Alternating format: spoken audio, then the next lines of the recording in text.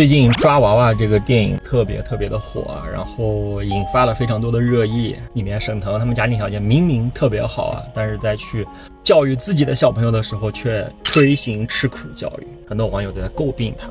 但你要知道，英国最顶级的这些思想里面，反而是跟沈腾一样，都是在践行吃苦教育的。这你受得了吗？包括像 Winchester，包括像 Eton，他的宿舍很多都是那种大通铺，就是一个布帘子拉上的。很多家长他都非常向往啊，我的孩子王思聪读哪个学校，我读哪个学校，他都觉得肯定是非常富丽堂皇的这种贵族学校，对吧？有最好的设施。No，他的好的设施是他的，呃，比如说实验室。是小朋友的音乐教室，是小朋友的各种各样的这种先进的 3D 打印机，然后各种各样的先进的设备。但是同时，英国也非常崇尚小朋友的素质培养和吃苦耐劳的精神的培养，包括他们有这种叫 Duke of Edinburgh，叫爱丁堡公爵奖，干嘛的？远程徒步，对吧？去野外徒步，然后让你去远行远足。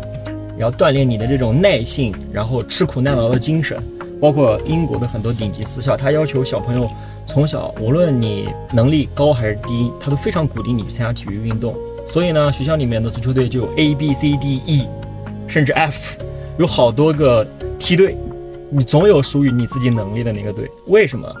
是因为运动啊，你才会是最小成本让你去面对输、面对赢、去面对挫折，去锻炼你的心智，让你变得更加的强大。其实网友都在吐槽说啊，你这个讽刺，对吧？沈腾讽刺这个吃苦教育，我是觉得，我举双手赞成吃苦教育。我非常非常的认同，人一定要去经历一些苦难和挫折，这样才会成长，才会知道幸福的不容易。